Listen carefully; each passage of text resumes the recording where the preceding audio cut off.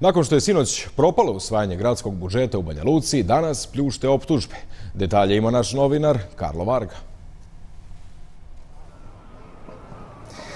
Saga oko budžeta grada eh, Banja Luki se i dalje nastavlja. Predstavnici Skupštinske većine predvođeni SNSD-om pozvali su gradonačelnika Banja Luke Draška Stanivukovića na hitni sastanak kako bi se dogovorili oko održavanja vanredne sjednice Skupštine grada na kojoj bi jedina tačka dnevnog reda e, bilo pred prijedlog budžeta za ovu godinu. S druge strane, gradonačelnik Banja Luke poručuje da sastanak ne želi sa odbornicima Skupštinske većine, već sa Miloradom Dodikom, kojeg smatra izvorom trenutnih problema u gradu na Vrbasu. Dodao je da neće dozvoliti da se Banja Lukom upravlja preko komiteta SNSD-a, te da sa timom pravnika razmarta o tome kako izaći iz trenutne situacije. Oko neusvajanja budžeta grada oglasio se danas i predsjednik predsjednik partije demokratskog progresa Branislav Vorenović koji je rekao da je rušenje budžeta zapravo sprovođenje paklenog plana SNSD-a da se blokira najveći grad Srpske i tako kazni narod koji živi u Banja Luci, a koji je glasao po svojoj sobstvenoj volji, što je i lider te partije Milorad Dodik u postizbornoj noći i najavio.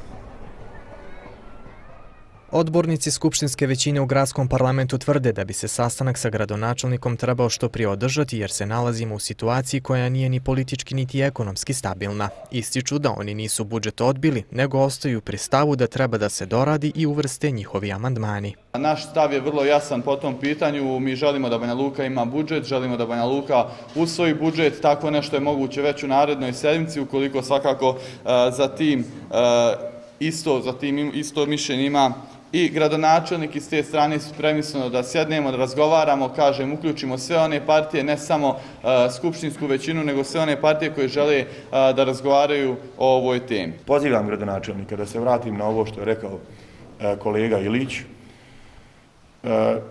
da ispoštuje poslovničku proceduru, da ispoštuje zakon o budžetskom sistemu, da uputi u skupštinu, u skupštinsku proceduru novi prijedlog budžeta, naravno u skladu sve sa poslovnikom.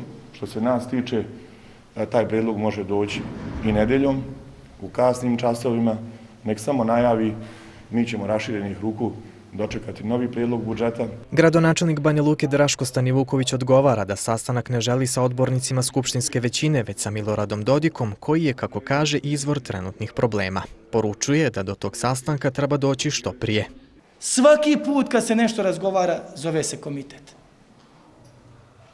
Sa njima na sastanak. Da me ne shvate pogrešno, može sjesti samo moja sekretarica. Jer i ona poslije mora mene nazvati. Pa stu egal. Ja predlažem da sutra oni u 14 časova sjednu sa mojom sekretaricom. Tama novi moraju pitati nekog i moja sekretarica mene, pa onda tako nek on piju kafu i razgovaraju. Ja tražim sastanak u gradskoj upravi sa gospodinom Dodikom. I takav poziv šaljem. Jer je uvijek važno vratiti se na izvor i vidjeti odakle problem potiče.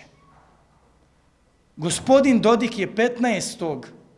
novembra, nikad to ne je zaboraviti, rekao. Šta god da predloži taj gradonačelnik, mada Einstein predloži, mi to nećemo podržati. Ipak nisam Einstein, dali smo sve od sebe i zato ovaj budžet odbijem. Bez budžeta ostajemo bez mogućnosti za bilo kakvu vrstu transakcija, to znači nemogućnost isplate plata za 716 radnika i to onih koji rade u Centru za predškolsko vaspitanje i obrazovanje, zatim onih u Banskom dvoru, zaposlenima u Gradskoj razvojnoj agenciji, Centru za razvoj poljoprivrede i sela, Sportskom centru Borik, Centru za socijalni rad i turističkoj organizaciji grada, kaže Stani Vuković. On dodaje da nijedno socijalno davanje u narednim danima ne smije biti isplaćeno iz budžeta, pa tako ni isplata javnim kuhinjama. Nije moguće narednih dana ni održavanje puteva, mostova, saobraćenih znakova, javne rasvjete, signalizacije semafora, koliko se neki pokvari, koliko padne neko drvo, održavanje zelenila, košenje zelenih površina, uklanjanje ambrozije, održavanje javnih satova, kao da je vrijeme stalo. To je realnost. Dakle, od sutra čistoća ne može da odvozi smeće ispred kuća, ni da čisti korpe na bilo kom izletištu i bilo kom dijelu grada Banja Luka. Ovo što u Banja Luci radi skupštinska većina je klasični primjer ugnjetavanja i ugrožavanja funkcionisanja života u gradu, čime je građanima zaprijetio predsjednik SNSD-a još u izbornoj noći i ako ovako nastavi da se ponaša, Dodik bi uskoro mogao postati nepoželjan u Banja Luci, kaže predsjednik PDP-a Branislav Borejnović. I ako Dodik nastavi kažnjavati građane Banja Luke, mogao bi vrlo brzo prostati od te strane istih građana persona non grata u Banja Luci. Sasvim je jasno da SNSD-u i njihovim marionetama iz podaničkih stranaka Ujedinjene Srpske, Demosa i SPA nije bila uopšte namjera da izglasaju i da glasaju za budžet grada Banja Luke. Iako je, koliko smo imali priliku da vidimo, gradonačelnik prihvatio većinu predloženih amandmana. Da jedan odbornik koji se zove Saša Čudić, koji je predložio tri amandmana i u stopostotnom iznosu usvojite tri amandmana, kaže budžet ne valja. Direktorica Doma zdravlja, koja je ovim budžetom predviđeno, 1,2 miliona, što je istorijski maksimum za ovu ustanovu i nije za budžet. Od 1,2 miliona nekradnici Doma zdravlja znaju 200.000 je za 20% povećanje na platu, 300.000 za vakcinaciju koji je sada sporno, sajmište koje plaća grad, nikad to niko nije rekao, pa ni ona, je li tako? I 715.000 granta. Milioni 215.000 istorijski maksimum koji je dom zdravlja dobio ikada od grada i budžet ne valja. Mene ovo najmanje udara, kaže Stani Vuković, ali udara one koji su na budžetu grada, koji imaju kredite, koji imaju obaveze. Ljudi su u strahu, ovo je strašno što je urađeno gradu Banja Luci, dodaje on. Razmatramo sve pravne korake kako bi izašli iz svega ovog, zaključuje gradonačelnik najvećeg grada Srpske, uz poruku da je ovo ekonomska, socijalna i politička kriza koja je nastupila samo zbog politike.